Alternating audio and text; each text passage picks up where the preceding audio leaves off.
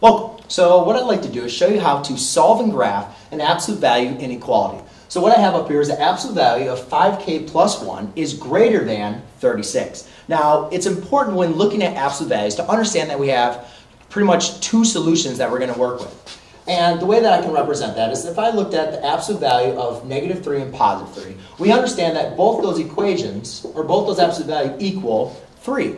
So therefore, when dealing with an absolute value that equals a number, we know that there's possibility of two, two different solutions that could be within your absolute value um, absolute value function as far as the positive value and the negative value.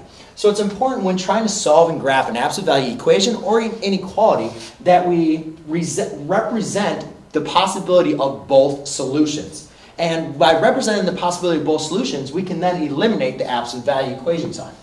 So to do that, all I simply do is make sure that I have my absolute value um, isolated, and then I'm going to represent my absolute value, or I'm going to represent both of the solutions. So the first one, I can just kind of eliminate uh, my absolute value and just represent the positive solution.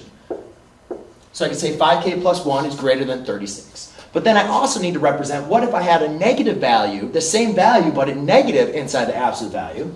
So therefore to do that, I say, well, 5k plus 1 is now less than negative 36. And that's how I represent if inside my absolute value had the same value as this, but negative. And remember, since we're combining with negative and inequality, we got to make sure we flip the sign. Now that I have my absolute values isolated, now what I can simply do is just solve for each variable.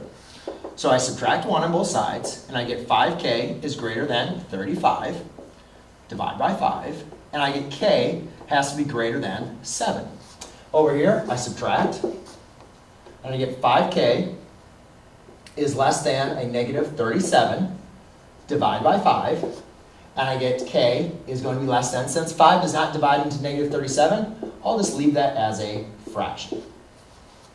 All right, and we can say, you know, it's roughly going to be, you know, 7 and a, a decimal form. So now to graph this, I'm going to use a line graph here.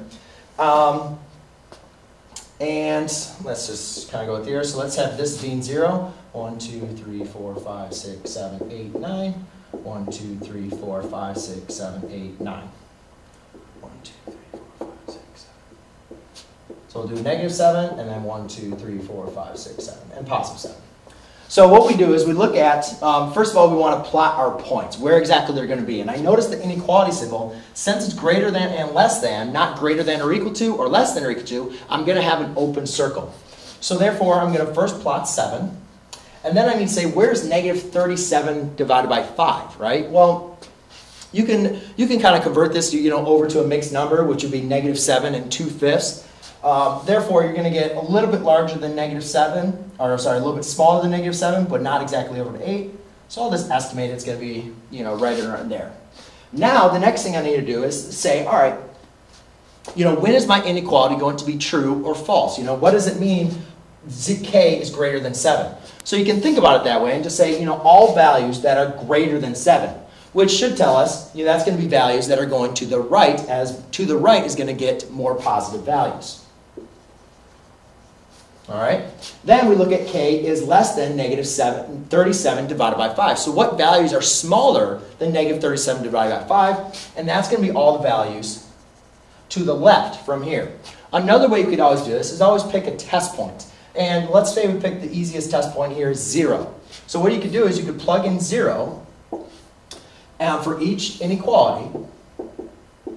And if it's true, then that's where you shade towards your true test point. If it's false, you're going to shade away. So what I notice is 0 is greater than 7. For that point, it's false.